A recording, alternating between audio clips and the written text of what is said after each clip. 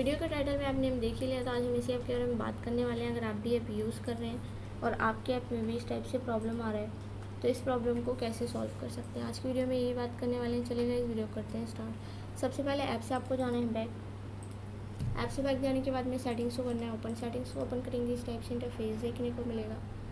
Network के option पर click करना है एरोप्लेन मोड को ऑन करना है ऑफ़ करना है बैक जाना है. ऐप्स के ऑप्शन पर क्लिक करके ऐप को देख लेना है ऐप कहाँ पर है ऐप पर करना है क्लिक ऊपर की तरफ़ स्क्रॉल करना है स्टोरेज के ऑप्शन पर क्लिक करके क्लियर स्टोरेज पर क्लिक करना है ओके पर कर देना है क्लिक बैक जाना है परमिशन के ऑप्शन पर क्लिक करके इनको देना है परमिशन बैक जाना है प्ले स्टोर से आपको करना है सर्च आपको सर्च करेंगे, इस टाइप से आपका इंटरफेस देखने को मिलेगा ऐप में अपडेट आया होगा प्ले के ऑप्शन की जगह पे अपडेट का ऑप्शन देखने को मिलेगा.